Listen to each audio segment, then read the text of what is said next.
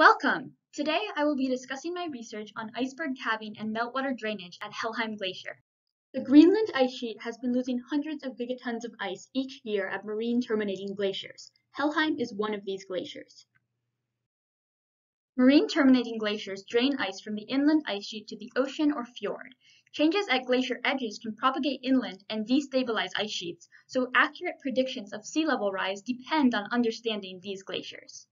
Glaciers lose ice to the ocean either by breaking to form icebergs, a process called calving, or melting. Calving produces different types of icebergs. Tabular icebergs break from floating glacier termini and remain floating upright. Non-tabular icebergs calve from a glacier that has more contact with the ground below, which we call grounded.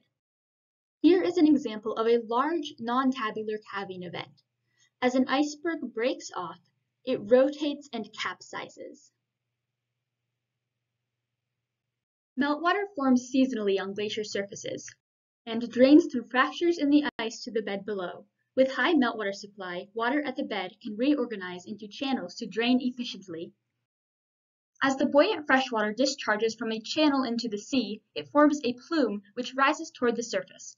We hypothesize that plume appearance indicates that the subglacial water system is channelized to a grounded glacial front. At Helheim, the surfacing plume appears as an area of open water surrounded by the ice of the melange, which is a mix of floating ice.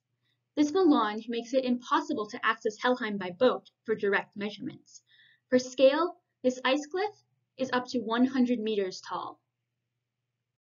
Helheim drains from the southeast Greenland ice sheet and is the fastest glacier in East Greenland, flowing up to 25 meters per day.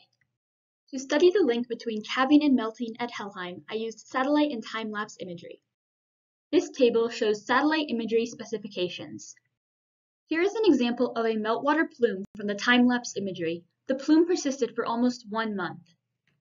After the plume disappeared, non-tabular calving occurred. The plume consistently appeared at the central terminus over many years. To measure changes in Helheim's terminus position, I digitized the terminus from satellite imagery. This is a map of terminus positions by date. I also observed that surface meltwater consistently pooled in a meltwater lake L and three downglacier crevassed or fractured regions. To determine the change in meltwater area from satellite imagery, I calculated the normalized difference water index for ice. Now I'll plot the data on a time series from 2011 through 2019. I'll start with the plume. Purple indicates plume presence, pink is absence, and gray is no data. Next, I'll add calving. Cyan represents non-tabular calving, red is tabular, and yellow is mixed. Here I add terminus position, plotted in kilometers along the y-axis. Finally, I'll add the surface water data. Water area is along the y-axis in square kilometers. Black is the lake, and red, gray, and cyan are the crevassed regions. That brings us to the discussion. First, let's look at terminus position. The terminus was relatively stable through 2016 except for seasonal fluctuations, but in 2017 and 2019, Helheim retreated about 1.5 kilometers beyond previous positions. What about calving and plumes? Here the time series is broken into three-year intervals.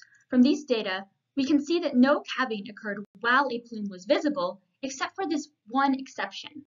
On April 16, 2017, a tabular berg calved while a plume was visible. But although these events occurred concurrently, they were separated spatially. Why did calving generally not occur while a plume was visible? Well, when Helheim is completely grounded, basal crevasses could be unable to form, making calving difficult.